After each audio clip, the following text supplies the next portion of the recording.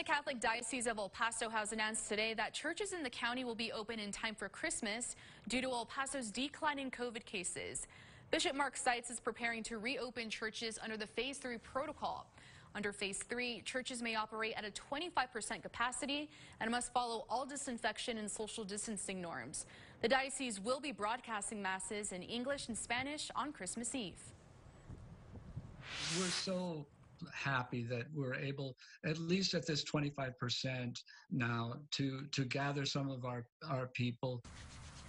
Bishop Seitz says the city curfew will not apply to those attending late mass services and encourages at-risk worshipers to stay safe at home.